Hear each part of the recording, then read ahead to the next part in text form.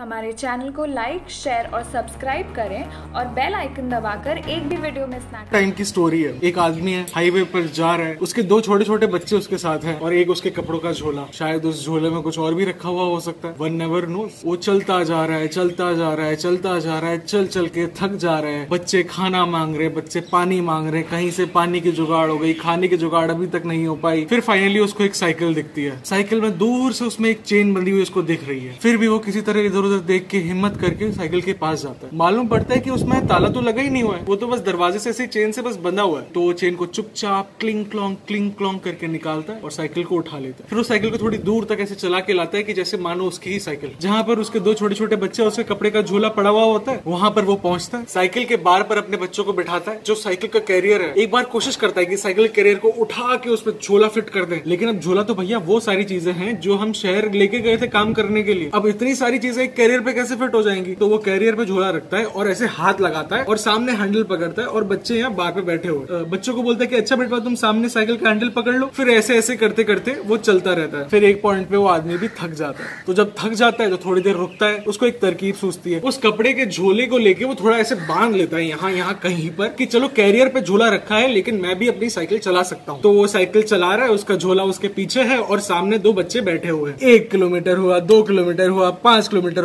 दस किलोमीटर हुआ, चालीस किलोमीटर पे जाके वो साइकिल जवाब दे जाती है। और ये नहीं भाई कि अपने कूल डूट जैसे उसकी चेन उतरी है बस। वो साइकिल का जो एक बीच का जो बार था, जो सपोर्ट ले रहा था, वो सपोर्ट ही थोड़ा चटक जाता है। अब आदमी करे भी तो क्या करे? कुछ ऐसा करे जो उसने ना कभी किया, ना उसने कभी सोचा, लेकिन अब उसकी मजबूरी है। तो अब वो साइकिल से उतर जाता है, झोले पे हाथ रखता है हैंडल पकड़ता है, बच्चों को बोलता है तुम हैंडल पकड़ो बिटवा और वो चलता रहता है, क्योंकि घर अभी भी बहुत दूर है।